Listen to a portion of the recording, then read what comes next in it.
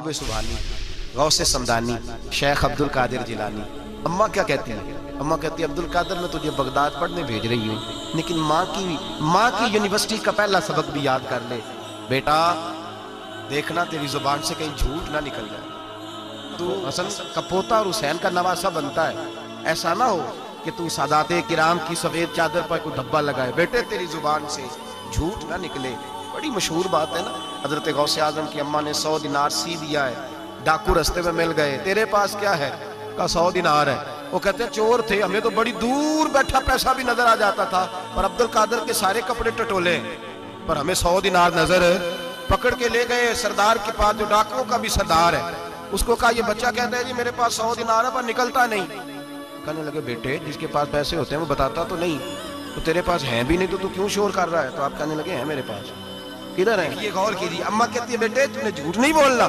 کہتے سو دن آج یہاں سیا ہوا ہے۔ ڈاکو کہنے لگا، تھے تو نظر کیوں نہیں آتے؟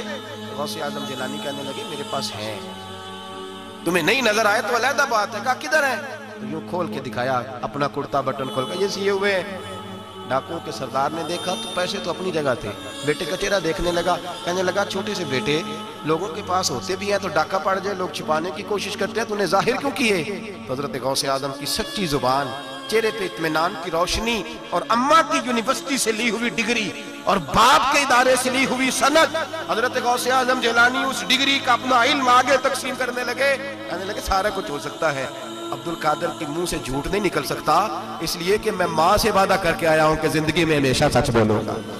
جھوٹ نہیں نکلے گا اور لفظوں کی صداقت تھی۔ گیارہ بارہ سال کی عمر معصومیت کے جملے ایسے نکلے کہ ڈاکوؤں کا سردار کانپنے لگا۔ راشا تاری ہو گئے پلٹ کے اس کے آنسو نکلے۔ حضرت غوث اعظم چلے تو پیچھے پیچھے چل دیا۔ کہ تو میرے پیچھے کیوں آ رہا ہے؟ کہنے لگے، جس مسجد تم جاؤ گے، میں بھی اسی مسجد میں نماز پڑھوں گا۔